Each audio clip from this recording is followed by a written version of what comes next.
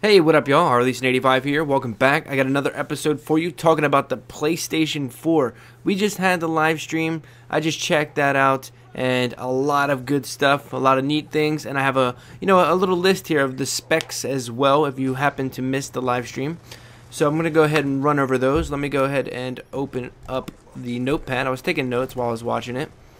All right, so it's gonna be an x86 CPU and it's going to be having highly advanced GPU graphics. And the way they were sharing it and, and basically showing, uh, they had like millions of particles dropped into different areas or different maps, and no lag at all. The graphics looked amazing, and they were saying like the particle, the way the particle is going to work, it's all going to be in real time. So uh, you're going to have really great graphics and a lot of cinematics uh, you know, as you're actually playing the game. So that was pretty neat.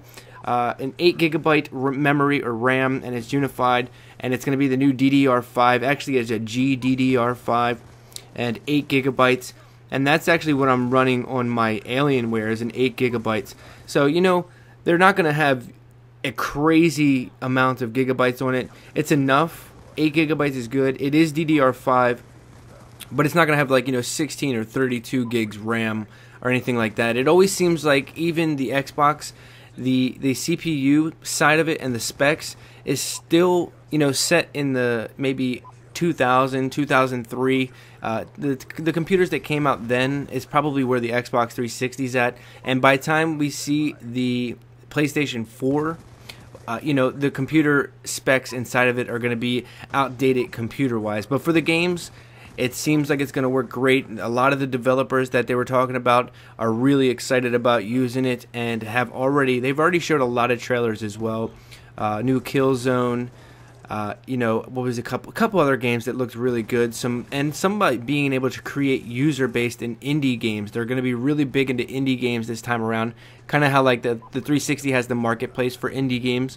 So I thought that was pretty neat too. And uh, you know, I'm just kind of rambling off what I remember as well from the live stream and shit like that. And uh, you know, just kind of bear with me. Just talking about the PlayStation 4. Uh, will I get it? Well, let me ask you guys: Are you gonna get it day one? That's a question I want to know from you for sure.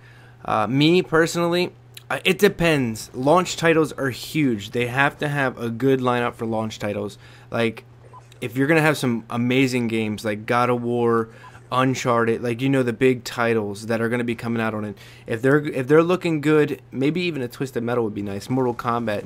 Uh, I, Call of Duty I don't consider a launch title. You know, usually exclusives are going to be your launch titles, like LittleBigPlanet stuff like that.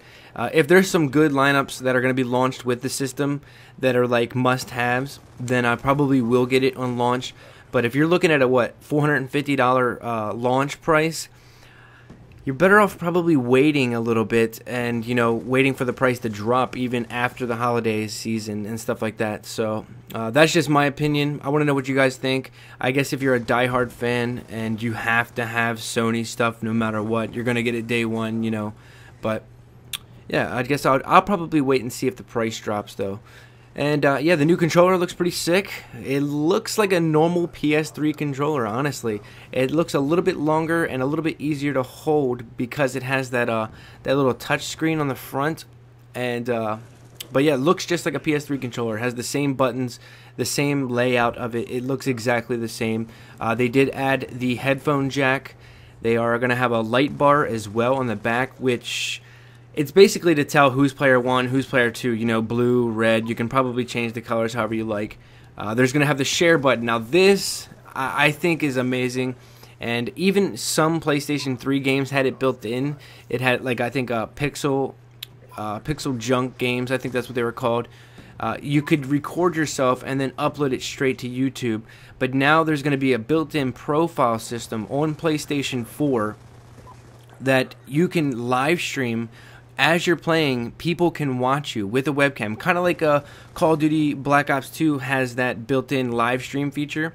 People can watch you at any time if you're hitting that share button, or you can it'll automatically even if you're not hitting the share button, it'll automatically record like 10 minutes of your past gameplay and you can go ahead and upload that as a video.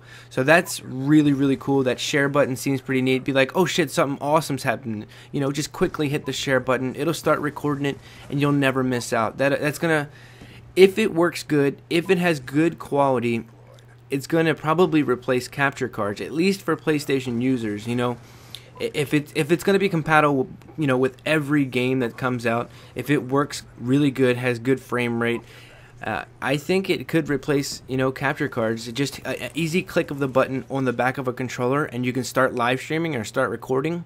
And you know, people can watch you right on the console. I think that is really cool, a good way to share your things, and that that was something really exciting for me. Um, it, and it's going to have like a secondary custom chip for uploads and downloads. I'm guessing that's going to be involved in that as well to keep it so you can upload your stuff, you know, while being able to as well download in the background. And they were talking about, you know, downloading in the background while you're still playing the game that you're downloading. So that's that's pretty crazy. Like a whole separate chip and a CPU involved in just downloads and uploads. That's pretty cool. And the the whole social aspect of it the whole profile looked pretty neat. They showed a screenshot of that. Like you have your own, basically like your own Facebook within PlayStation, kind of. And uh, I'm sure it's going to integrate into Twitter and Facebook as well. But people can go to your profile, leave a comment, you know, check out your avatar, check out your trophies, recent games you've been playing, uh, kind of what they have now, but on the console itself. So that's pretty neat. To talk about a little bit with the PlayStation 4 and uh, I kind of rambled on a little bit, and I'm doing this just, you know, without no gameplay in front of me. I just felt like talking about it, and uh, I have a little note here. I'm just finished watching the stream, and I'm testing out my new Blue Yeti mic. Got the pop filter on there. It looks pretty cool, and I, I just got it, so I figured I'd give that a try. My other mic's been broke. That's why I haven't made a commentary, you know, to sit and talk to you guys for a while because it broke. Got a new one now. Hope you guys like the way it sounds. Let me know. And let me know if you're getting the PlayStation 4 day one launch. You're gonna wait on it. That's like like to hear what you guys think about it. Let me know in the comments. Maybe start a little discussion down there. I'll reply to you guys and everything. So, but yeah, thanks for watching, and I'll see you.